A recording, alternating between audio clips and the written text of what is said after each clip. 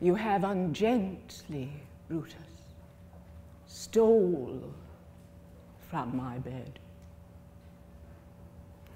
And just tonight at supper, you suddenly arose and walked about, musing and sighing with your arms across. And when I asked you what the matter was, you stared upon me with ungentle looks. I urged you further, then you scratched your head and too impatiently stamped it with your foot. Yet I insisted Yet you answered not, but with an angry wafture of your hand gave a sign for me to leave you, so I did, fearing to strengthen that impatience which seemed too much and kindled, and hoping it was, but with all an effect of humor which sometime hath his moment with every man. It will not let you eat nor talk nor sleep. And could it work so much upon your shape as it, as it hath much prevailed on your condition? I should not know you, Brutus. Dear my lord, make me acquainted with your cause of grief. Brutus is wise, and were he not in health, he would embrace the means to come by it.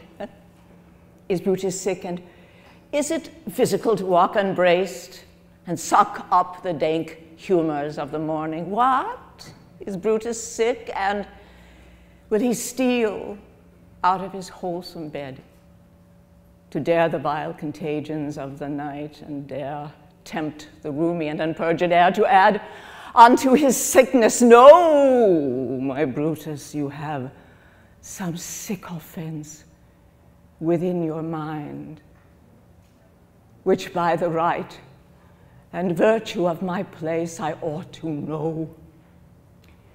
And upon my knees I charm you by my once commended beauty, by all your vows of love and that great vow which did incorporate and make us one, that you unfold yourself, your half.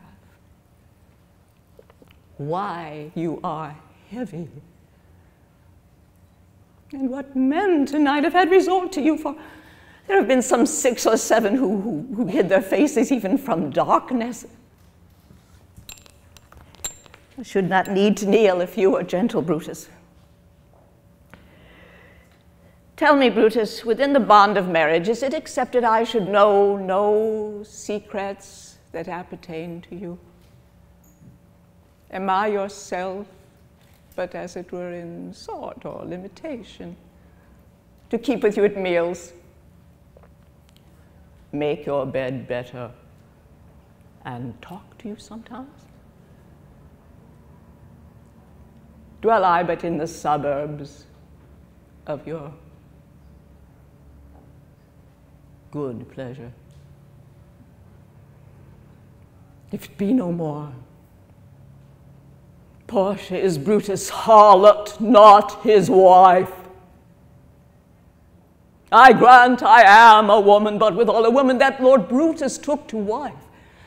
I grant I am a woman, but a woman well reputed, Cato's daughter.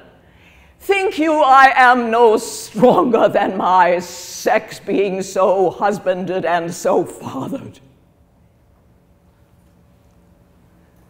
Tell me your counsels. I will not disclose.